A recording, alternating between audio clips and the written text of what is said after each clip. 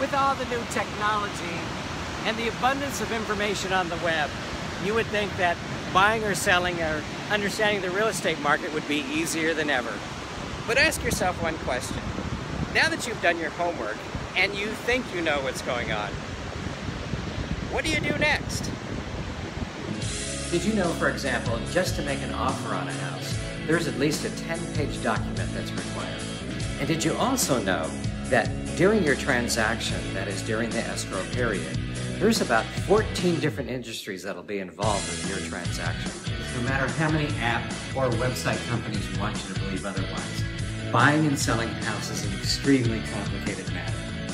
Just ask those that have tried to cut corners we often find that those clients that take the time to get a hold of us prior to the buying or selling process are the ones that get the best price and usually have the least amount of hassle in their transaction. We hope you enjoy this website. We've designed it to be simple and informative. But more importantly, make sure to shoot us your questions so we can help you achieve your goals.